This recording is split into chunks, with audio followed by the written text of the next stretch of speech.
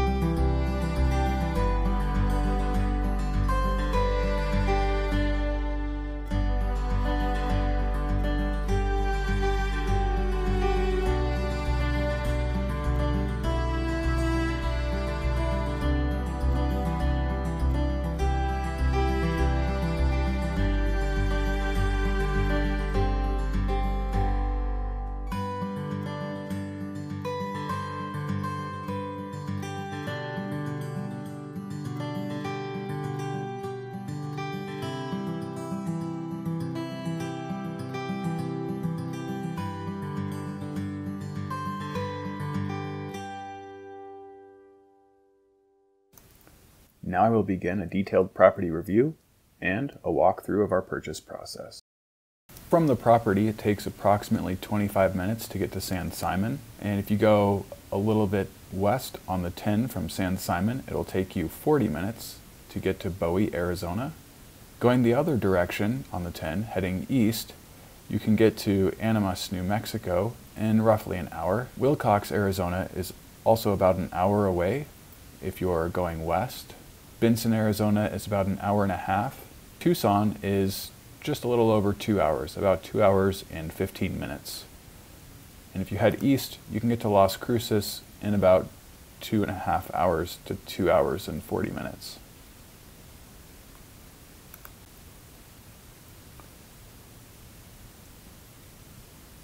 This is Google's travel guide for Cochise County, Arizona. As you can see, there are lots of activities on the map that are plotted out. And um, there is a lot to see and do. The property is located right here. It's kind of on the edge of the county. But you have Tombstone, which is uh, down here, Boot Hill, lots of old Wild West cowboy type activities. There is a lot of outdoor uh, exploration that can be done. One of the cooler things in the area um, is the Kartchner State Caverns, and they're extremely impressive.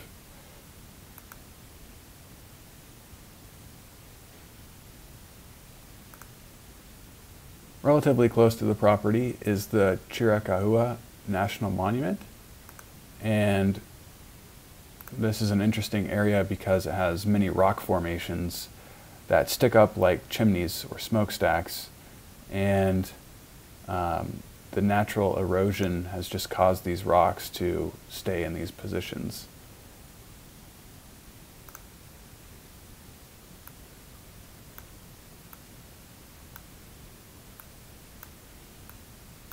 So it's a great place to go do outdoor exploring, hit up on the weekends, or if you're in Tucson, you can hit these sites on the way to the property. There's a lot to see and do in Tucson as well.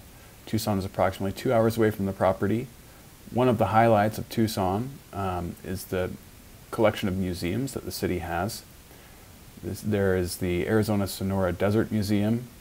Uh, it has the Pima Air and Space Museum, which is highly ranked with lots of aircraft and spacecraft on display. It has a zoo. You can go to the Saguaro National Park. Saguaros are the cacti that look like the Taco Bell logo or the old Taco Bell logo. There are lots of activities and things from the University of Arizona in Tucson and around Tucson.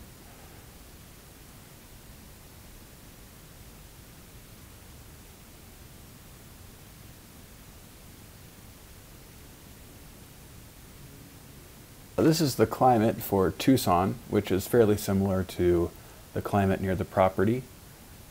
As you can see, the area is fairly dry with low chance of precipitation during most periods except for July and August where there are monsoons that come through. And the temperatures stay fairly warm with the winter being a balmy 64 for the high in December and January and a low of 41. In the summers it does get a bit hot. It gets uh, the average temperature here for the highs um, shows 98 for June and July and 96 for August. I will note that you know these are averages and temperatures can get a lot hotter and colder than these averages, but this should give you a good idea of the general climate in the area. And we're slowly zooming in. That blue line there indicates the border between Arizona and New Mexico. And now you can see Tucson. Tucson is approximately two hours away from the property. You'll see some other yellow dots.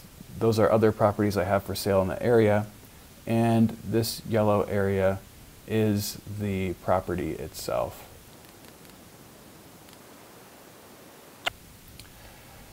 Nearby, there are several large quarter sections of land that are being developed and used to grow uh, nut trees.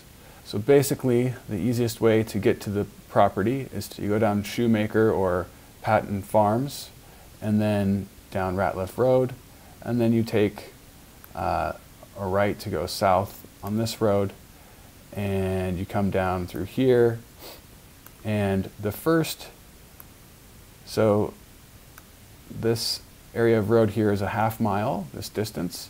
The first eighth to a quarter of a mile had some shrubs that were growing near the road that were a little close. So you might want to bring something to trim these bushes right through here and here is where it's the, the thickest. And then after that, it pretty much opens up and it's a little easier to drive on. Here are a couple of photos of the road. We tried to get photos where the road was at its worst. So here you can see some bushes that are overgrowing the road. And in the second shot here, you can see uh, this is about the roughest the road got um, to the, get to the property. So once you get down to the property, you have a half mile that is fronting on uh, this dirt road. And there's also kind of a trail over here, but it basically dies down um, that, that wood front on this quarter mile area. Uh, and down at the southern tip, uh, there is this road here. I'm not sure if my map's a little bit off or if the road's a little bit off, but um, basically you have uh, a road that's to the south of the, uh, the property as well. Here we're zoomed out a little bit from the property. This vertical orange line here is actually the state boundary between Arizona and New Mexico. And um, the orange shaded areas are BLM land. The blue shaded areas are Arizona state land. The green shaded areas are um, National Forest Service. So the property is located right here where um, you see this blue and orange meeting. And if we zoom in, you'll see here's the property. And it has Arizona state land on the west side and otherwise it's surrounded by BLM land all around. Um, each of these squares is approximately 40 acres. The grand total is uh, roughly 120, I think it's about 118 acres. Um, if we look at this with a topographical map, you can see that the property is fairly flat. Um, each of these lines represents a seven and a half foot increment. So uh, the elevation here is seven and a half feet lower than it is here, and then again seven and a half feet here. Um, and as you can see, there there is a line here indicating that there is uh, occasionally a wash that runs through here, um, though from satellite feeds it is less obvious. Here's the line where that wash goes through the property on a satellite feed. As you can see in this topographical map, there are roads shown. These are dirt roads, uh, that's why they're dashed lines. And there is a road that goes down to the property. The road is um, not super well maintained, and uh, the road is split between state land and BLM land up here. As far as access goes, on the BLM side, the BLM allows you to drive vehicles on roads as long as you're not doing anything invasive or damaging. And on the Arizona side, they require a uh, recreational permit or a right of way, which is basically an easement that you can get. Uh, the permit is very easy to apply for and allows individuals to go onto Arizona land. There are several different levels of easement or right of way that you can get with Arizona State, and each of those levels has a different degree of requirements and timeline uh, in terms of completing the process. But the property is fairly accessible. The one thing I would note is that there is half a mile here to get down to the property, and the first quarter mile, or maybe a little less than a quarter mile, there is uh, the, the shrubs on the side of the road have grown in a little bit, and so you might want to bring some clippers or something to trim them down. I drove in a little ways, parked my car, and then just walked uh, to the property so I didn't scrape the sides of my car because I didn't have uh, anything to clip the, the bushes with.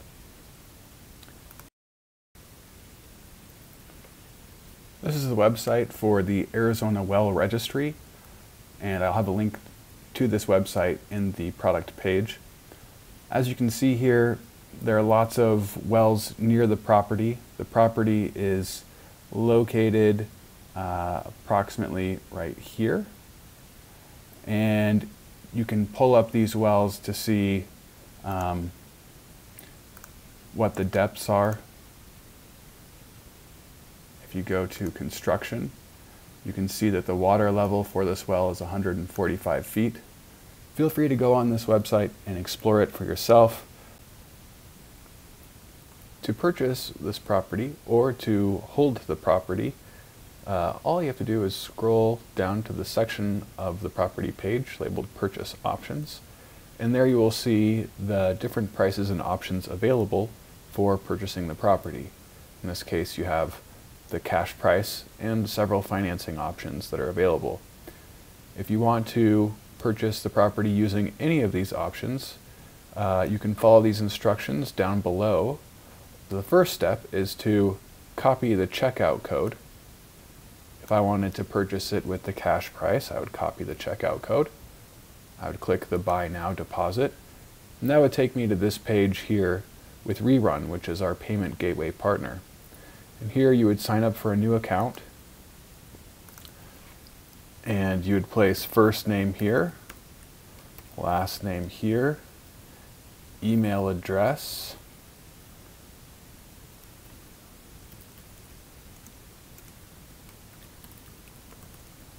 and create a password and then click sign up.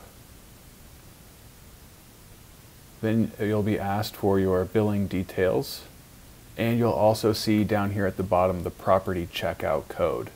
This is where you'll want to paste in that checkout code that we copied before and fill in your various billing details.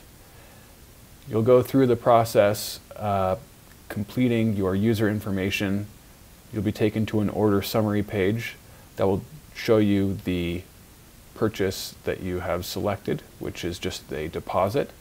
And then you'll select a payment method.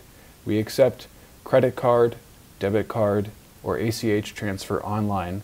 Also, you can reach out to us at sales at deedventures.com and arrange for payment via check, cashier's check, or money order, or wire. Finally, you'll be taken to the end and we'll reach out to you to ensure we have the proper information to document the transaction and we will coordinate with you to get all the documents completed and signed. As you can see here, below the Buy Now button, we outlay the purchase process.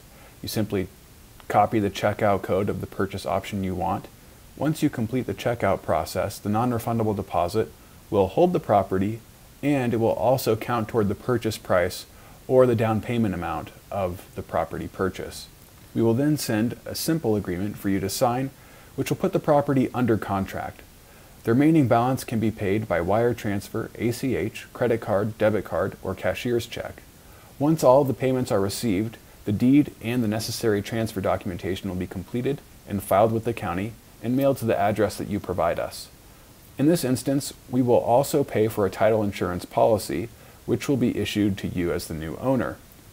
If you have any questions about the purchase process, the deposit, or the documentation process, feel free to reach us by email or by phone. Our contact info is listed at the bottom of each page. And with that, I'll leave you with some photos of the property.